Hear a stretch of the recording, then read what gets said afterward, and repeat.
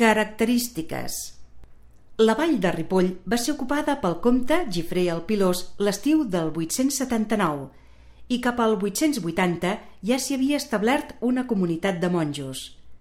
Va fundar un monestir per assegurar els seus dominis pirinencs, protegir les rutes naturals dels seus territoris, preparar la repoblació d'Osona i dotar de patrimoni el seu fill, Radulf. Cap al 887 va fundar el monestir de Sant Joan de les Abadesses per a la seva filla Emma, que es va convertir en la seva abadessa. Com a panteó comtal, estan enterrats els comtes de Besalú i els comtes del Casal de Barcelona fins a Ramon Berenguer IV. La resta de comtes reis estan enterrats al monestir de Poblet. El pòrtic de l'església constitueix, sens dubte, l'obra escultòrica i iconogràfica més important del romànic català i pot considerar-se com un dels millors conjunts de tot l'art romànic.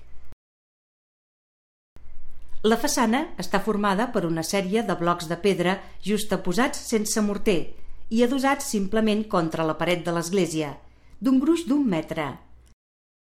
Està molt deteriorada. A més del greu incendi de 1835, el material utilitzat, ple de sorra, conté un ciment calcari que absorbeix l'aigua i que és molt sensible a l'acció corrosiva de l'aire. Es tracta d'un relleu de mitjan segle XII de gran complexitat temàtica, però d'estructura compositiva simple, fonamentada en el valor simbòlic de la forma geomètrica i del nombre. Es tracta d'un rectangle de 7 metres 65 d'altura per 11 metres 60 d'amplada, proporció similar a la de la basílica, 40 per 60 metres, que correspon a la secció àurea 2 a 3. El conjunt, inscrit en un triangle, el vèrtex del qual se situa al cap del Pantocràtor, que domina i presideix l'escena, està organitzat amb un triple significat. Com a arc de triomf cristià, com a manifestació d'ajuda divina al poble escollit i com a alegoria de la conquesta de la Catalunya Nova per Ramon Berenguer IV. En el centre del conjunt s'obre la porta amb set arquivoltes, número que es repeteix en el nombre de franges i en l'alçària del pòrtic, als intercolumnis de la nau i en els absis. Iconografia Passem a descriure iconogràficament les set franges horitzontals que el componen. En la primera trobem la visió apocalíptica tradicional, els 24 ancians que acompanyen la majestat flanquejada pel tetramorf, ballen al so de les seves cítares en al·lusió a l'església triomfant. En la segona, un grup de sants, àngels, apòstols i profetes contemplen la teofania anterior i representen l'església militant.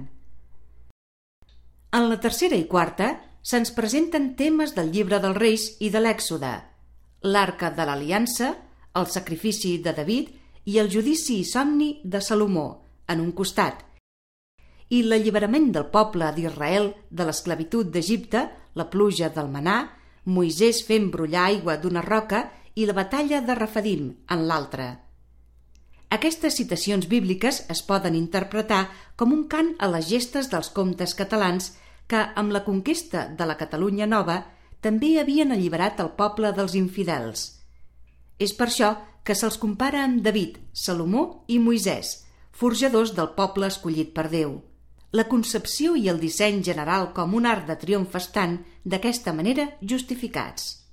En la cinquena, a l'esquerra, personatges presidits per David fent sonar diferents instruments, al·ludint al Salm 150, invitació adreçada a totes les coses a lloar Déu, i que poden vincular al to festiu i musical de la franja superior. A la dreta, Moisès rebent la llei al Sinaí, i un bisbe, un guerrer i un cavaller, potser Ramon Berenguer III i Ramon Berenguer IV, que al costat d'un bisbe i de Moisès segellarien l'aliança del poder religiós amb el poder polític. En la sisena, i a cada costat de la porta, una fera de gran volumetria. En la setena, grifons i lleons, el combat de Sant Miquel, representació dels set pecats capitals i de la lluita de l'ésser humà amb el mal.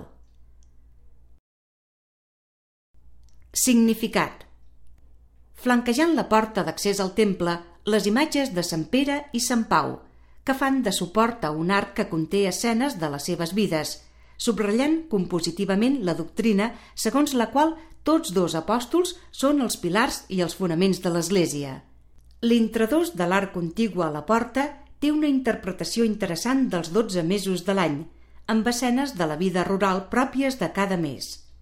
Es pot entendre com l'intent de donar sentit temporal a la teofania.